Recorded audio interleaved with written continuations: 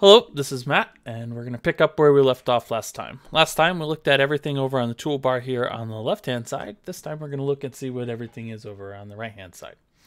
Uh, starting off in the top, uh, we have a top toolbar here that has the chat. Um, that is this whole area that we're in now. You can chat doing a couple ways.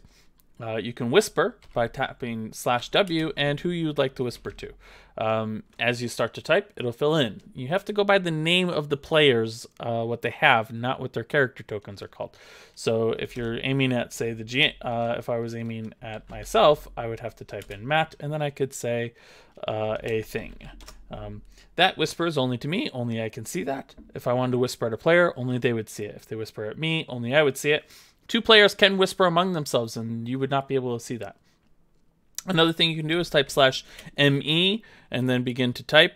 Uh, this is me talking and it shows up in a different color, uh, identifying. In my games, we use that to indicate role play. And so if a character is taking an action while other people are talking, such as we're having this meeting and a character decides that they're going to go to the bathroom or look at other items in the shop or attempt to sneak behind the person, they would type this there so I, as a GM, know to pay attention to this color. But if they say, um,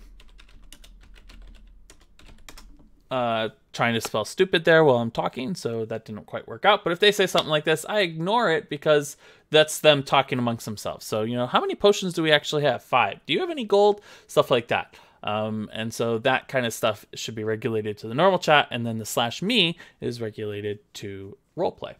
So that's the chat window. Uh, you can scroll back up. Uh, if at any point you want to do more, you can view more of the chat. You can view all chat entries for this game. Next, this is where your images are going to go. So uh, the uh, free assets. Uh, so in the My Library, see you have the Ifria image in here. Uh, that is the image that I uploaded from the front page. In order for them to upload it, they have to add it to the images. And so my images go here. I can upload new images by using this upload function. Um, go anywhere on your uh, desktop or where you keep your images rather.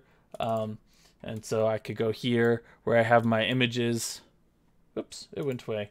I can go here where I have my images and drag in another image. It'll bring the image in and then I can use it for something. If you are just doing this to be able to play your game for coronavirus, this will probably work pretty well for yourself to just bring some images in, call it a player token, um, and give it some health and call it a day. Uh, but uh, if you want to make custom characters or custom monsters, you'll need to. Uh, you don't have to worry about adding the images first. You'll be able to upload them directly to the uh, character sheet, which I'll show you in a little bit.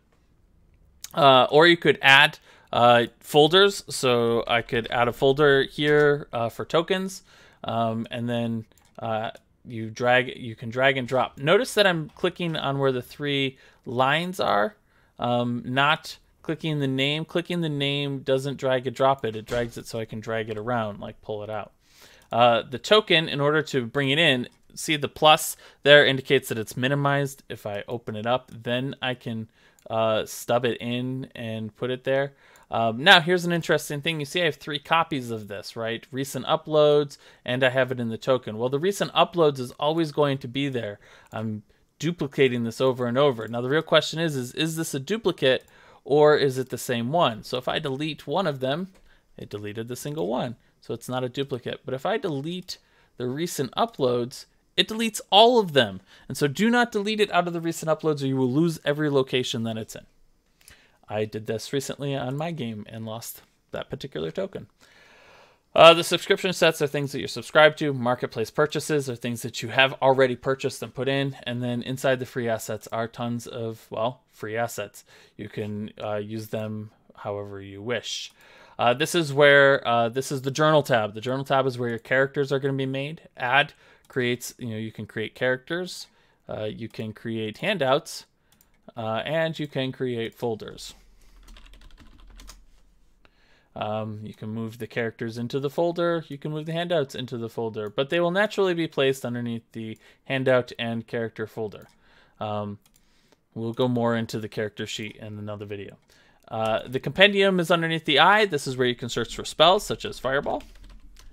Uh, you can add that to character sheets, or you can just pull it out and and look at it. When you pull any spell out to look at it, it automatically adds a it adds as a handout inside of the journal tab, and so uh, it's there for you to use again. If you delete it, you have not deleted it from the compendium. You can always access it again.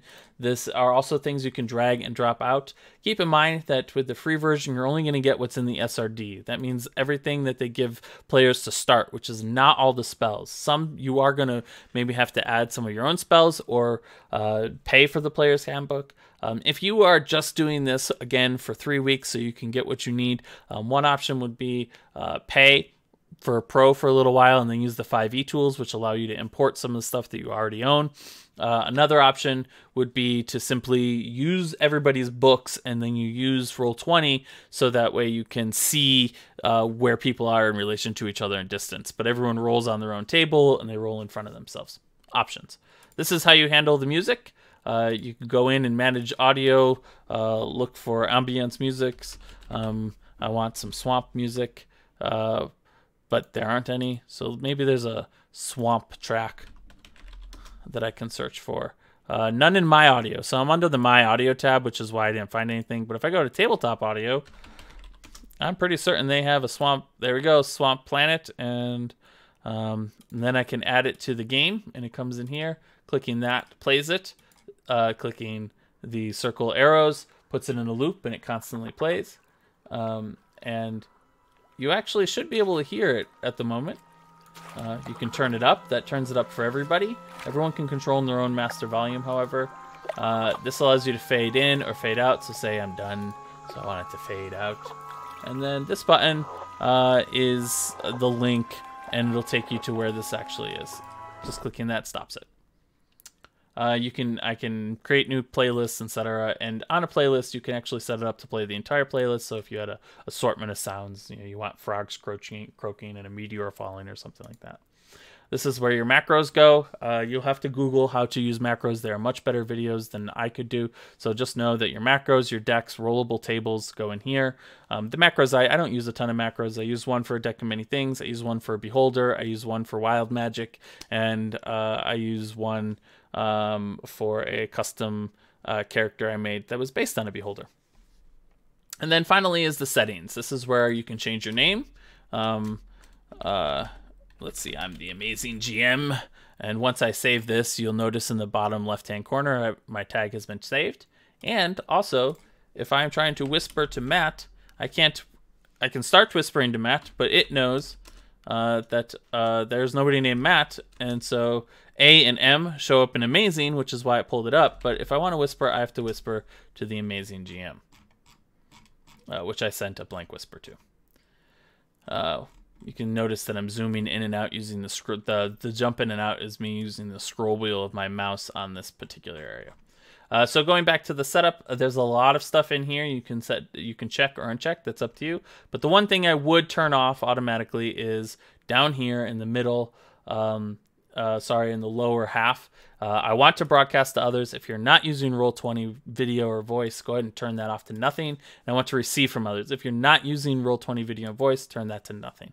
The reason I use put those to nothing is because they use bandwidth. Even if they're on, Roll20 is still checking to hear whether or not there should be some audio. And so setting them to nothing tells Roll20 that uh, it shouldn't be looking for that. And it can decrease your overhead just a little bit. Then you have to click reconnect and it will update those things. Um, and uh, outside of that, uh, that's pretty much everything that there is that you need to know uh, to use. Um, ooh, you can change your zoom to scroll to zoom or pan. I did not realize that was a thing. I'm going to have to change that in my games. Uh, the master music volume, I always leave it at 100, and then it, and all the players in settings can change their own music volume.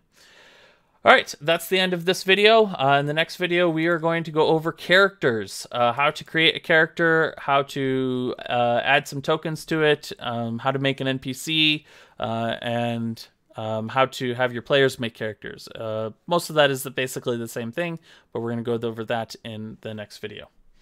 Uh, thank you for watching and stay safe.